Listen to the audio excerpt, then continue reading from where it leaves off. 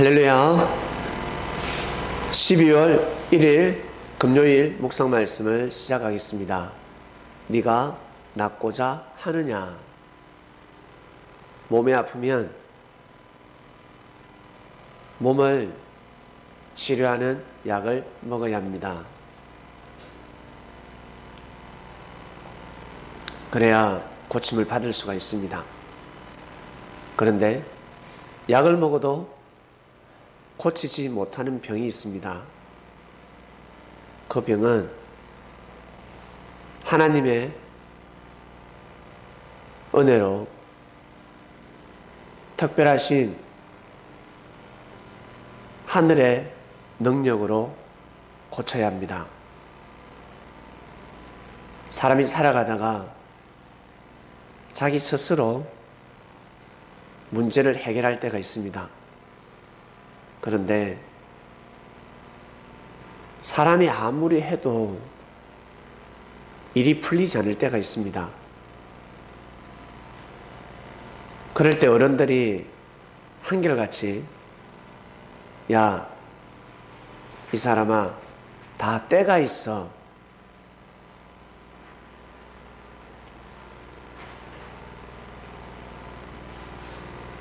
키가 콩나물처럼 자랄 수 없습니다.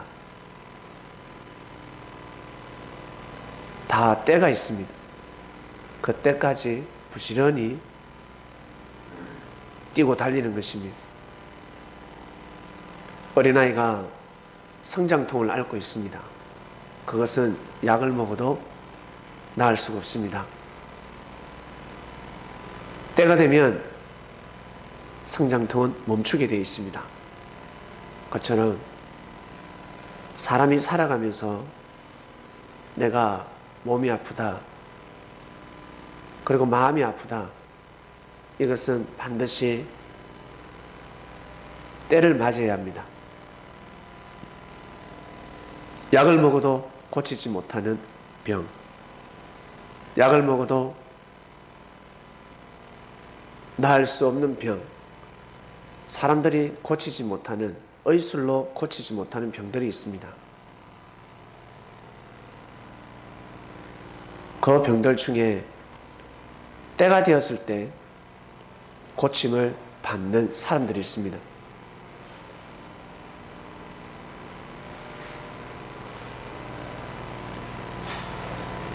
때란 하나님의 역사를 뜻합니다. 그때까지 참고 견뎌야 합니다. 긍정적인 마음으로 믿음으로 견뎌야 합니다. 불평 불만 악평하는 사람들은 그 때를 맞이할 수 없습니다. 때를 선포하신 예수님 평소 불평 불만 악평 형제를 힐문하고 형제의 큰 장점을 싫어하며 형제의 조그만한 단점과 허물을 자랑하기 좋아하는 사람들, 헐떨기를 좋아하는 사람들은 그때를 맞이할 수가 없었습니다. 그러면서 계속 하나님께 축복을 빌고 있습니다. 좋은 사람을 만나는 자체가 축복입니다. 내 일이 풀어지는 것도 축복인데 살아가면서 좋은 사람을 만난다는 것은 정말 축복입니다. 예수님은 좋은 사람을 뛰어넘어서 그리스도 메시아. 메시아라는 뜻은 사람을 구원시키는데 의사가 환자를 치료할 때 어이 더러워 화가 난다 짜증난다 그런 마음으로는 치료할 수 없습니다. 어떠한 중병에 걸리고 전염병에 걸리고 더러운 병에 걸렸다 할지라도 의사는 손을 걷어부딪히고 환자를 자식, 자신의 자식처럼 대합니다. 일반 사람은 이해하지 못하죠. 주님이 그러하셨습니다. 그런 마음으로 죄인들을 품어주셨습니다. 주님은 하나님으로부터 사랑이라는 묘약을 받으셨습니다. 이 약은 모든 사람을 치료할 수 있는 약이었습니다. 단지 중요한 것은 구하느냐, 강구하느냐, 염원하느냐, 정말로 소망하느냐, 나가서 정말 믿느냐. 이라는 사람들에게 그 약의 효능을 발휘할 수가 있었습니다. 고로 항상 믿으라 하셨습니다. 네가 정말 낫는다고 믿겠냐? 너 낫고 싶으냐? 결국 38년 된 병자는 고침을 받고 예수님을 증거했습니다.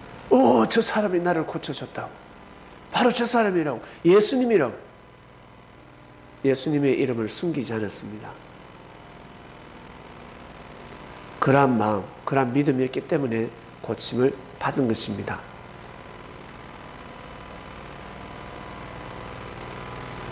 성도 여러분, 이번 주는 병 고침을 받는 주간입니다. 여러분이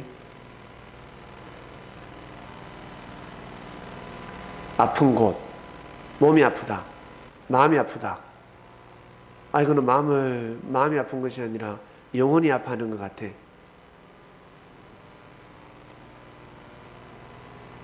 영혼육을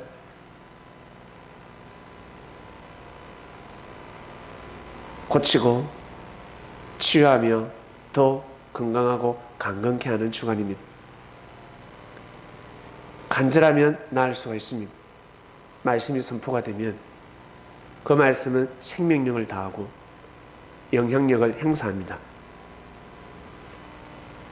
사람의 말이면 사람이 지어낸 말이면 비실리면 영향력을 행사하지 못합니다. 그러나 하늘에서 내려오는 말씀, 주님의 말씀이라면 반드시 하나님께서 역사를 하십니다. 왜?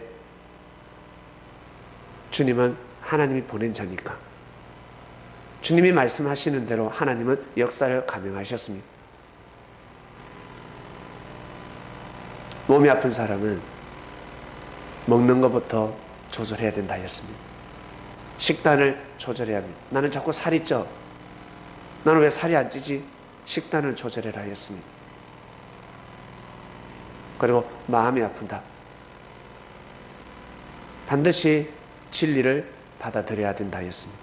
마음이 잘못되어 있다 보니까 인생이 괴로운 겁니다. 부모님으로부터 물려받은 잘못된 성격, 잘못된 DNA, 잘못된 피가 끓고 있습니다. 잘못된 정신이 몸에 흐르고 있습니다. 고쳐야죠.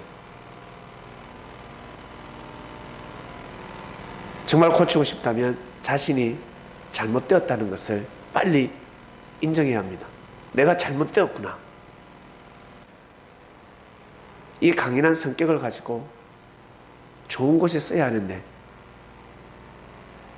자꾸 나쁜 곳에 쓰고 있구나. 자기 자신을 진단할 줄 아셔야 합니다. 살아오면서 형제들에게 분명히 지적을 받았을 겁니다. 형제들이 뭐라 했을 겁니다. 자기가 자기 자신을 보지 못할 때가 있습니다.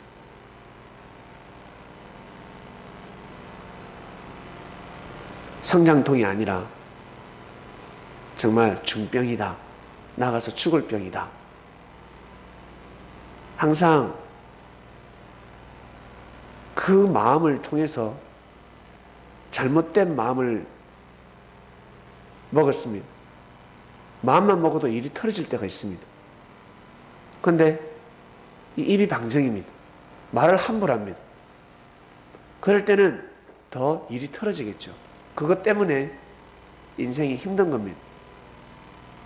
근데 하나님한테 자꾸 축복해달라고 하면 이미 축복을 했는데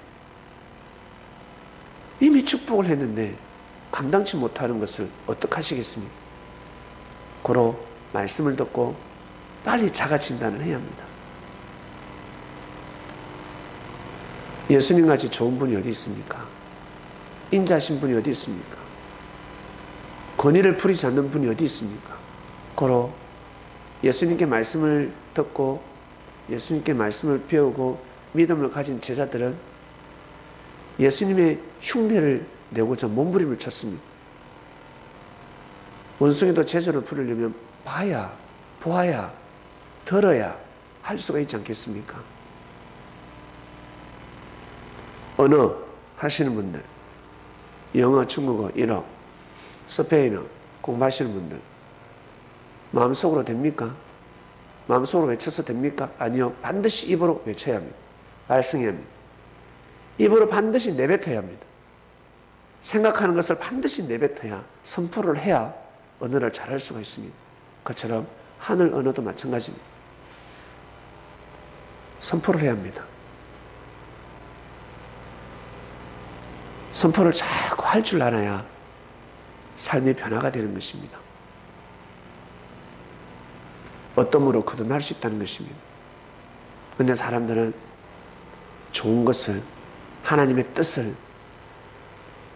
형제를 향한 하나님의 뜻, 하나님의 축복 말하기를 꺼려 합니다. 요즘은 세상이 어떤 세상인지 하나님한테 축복을 받았음에도 이 말을 옮기질 못합니다. 말하지 못하면 눈치를 봐야 합니다. 그런 세상이 되어버렸습니다. 그러나 성리사는 그러면 아니거든요. 항상 하늘로부터 받은 축복을 간정할 줄 아셔야 합니다. 선포를 해야 합니다. 가만히 있는다. 아니요. 그건 자기 스타일입니다. 자기 스타일. 그러면 한계가 있는 것입니다. 오는 병을 막아야 되지 않겠습니까? 오는 병은 질병은 계속해서 우리에게 다가오고 있습니다. 이걸 막아야 합니다. 하나님의 주관권에서 이것을 자꾸 막아 나가야 합니다. 말씀의 주관권에서 성령의 주관권에서 천사들이 보호하는 수호자들의 주관권에서 하늘이 우리를 보호할 수밖에 없게끔 그런 마음을 먹어야 하늘의 역사를 감행하실 수가 있습니다. 자기 지위를 떠나게 되면 내 마음이 떠나고 몸이 떠나게 되면 하늘이 역사하시는 것은 한계가 있습니다. 할 수가 없습니다. 그 자리가 아니기 때문에 오늘도 성리하는 삶을 사시길 바랍니다. 12월 1일입니다. 2017년 마지막 달이 돌아왔습니다. 따뜻한 겨울을 보내시길 바랍니다. 하나님 감사합니다. 네가 낳고자 하느냐 말씀을 들었습니다. 예, 낳고 싶습니다. 영 혼육이 고침을 받는 주간 되게 하여 주시옵소서. 말씀을 믿음으로 말씀을 사모하고 사랑함으로 하나님 앞에 나아갑니다. 말씀을 귀하게 여깁니다. 그리고 우리의 생각을 전환시킵니다. 나의 생각으로 수십 년을 살아왔는데 이제 남은 인생을 보다 더 새롭게 어렵게 살고자 한다면 여기에서 고침이 필요합니다. 더 건강해져야 합니다. 귀한 말씀을 드렸으니 오늘도 성리하는 삶을 살게 하시고 영원무궁토록 영혼력이 건강한 삶을 살아가는 그리스도인들 되기를 간절히 바라고 남나이다. 감사함을 드리며 사랑하는 예수님의 이름으로 기도드립니다. 아멘.